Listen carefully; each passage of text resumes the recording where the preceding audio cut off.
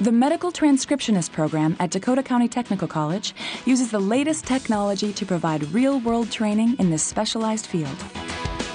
The type of work that we do in our classrooms is very much what they're going to be doing out on the job. The students need to pull in all of their expertise, the medical language, the, the anatomy and physiology. We're one of the only schools that has the speech recognition transcription software. So I feel like when I'm going to graduate, look for a job, I'm going to have exactly the skills needed.